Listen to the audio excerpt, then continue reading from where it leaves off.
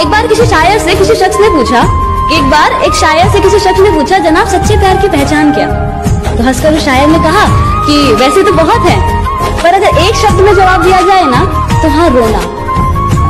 तो उस पर मैंने ये शेर लिखा था कि रोए अगर शख्स कोई, रोए अगर शख्स कोई तो वो कमज़ोर कहलाता है। कौन जाने इस दुनिया में कोई किसी के लिए क्यों रोता?